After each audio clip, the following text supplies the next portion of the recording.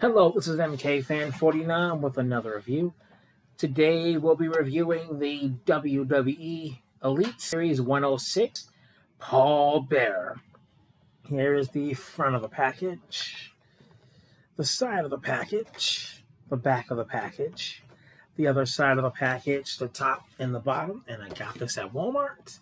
And let's unleash the bear. It is at three can go up, down, side, he can rotate arm 360. Can go out that far. He gets a bicep swivel. He gets a double armband, which is nice. Fist can rotate hand 60 can go in out. He does have a waist rotation. Um, he goes that far down. He can splits. He can kick forward that far. He does have thigh swivel can kick back that far for the double knee bend. He can go that far, which is nice. He can go forward and backwards. Now, I think you might be able to take this off if you don't want it to, or is it glued on? I believe, let me see. No, take this off if you wanted to, which I don't know why they didn't paint it properly, but you can do that as a thing.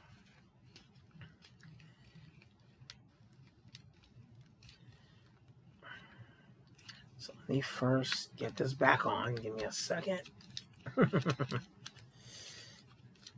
I'm enjoying this version of Paul Bearer.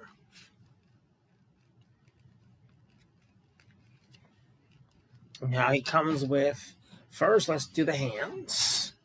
He comes with the open palm hands first, and these are to hold the urn.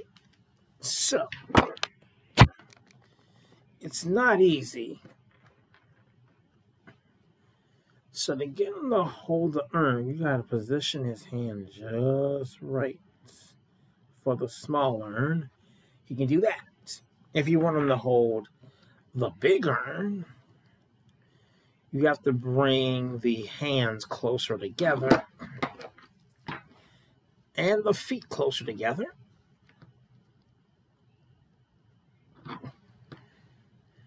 It's trickier. There you go. And another thing which I like is you can open up a key, like how some of the cameras can open up and you can do like the smoke effect if you wanted to, or any other things for that one. He does come with alternate hands. So He comes with first mic holding hands.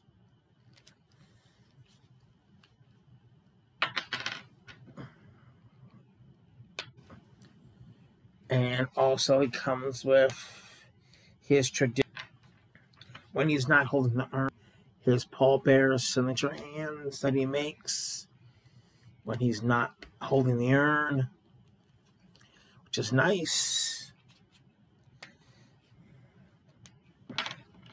for comparison, we'll do a few different comparisons.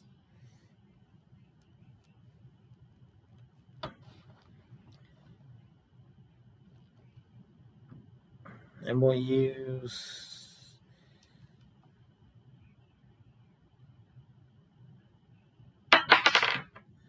yeah, it's tricky. Give me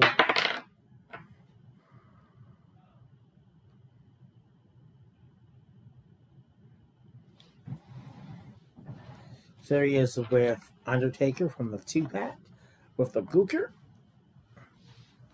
Here is one of my this is the Ultimate Edition. No, this is an Elite Hulk Hogan. This is one of my elites. Um, also with Kane,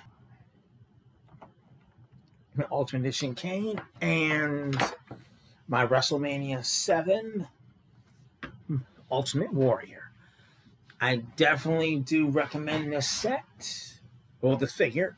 He is, if you do not own a Paul Bearer, this is a must own to go with either your Undertaker or your Kane. This is must have. So please like the video. Please comment the video. Please share the video. Please hit the subscribe button. And click the notification bell to be notified when I upload new videos and shorts. For any shorts and videos you may have missed, this is MKFan49 signing out. Oh, yes!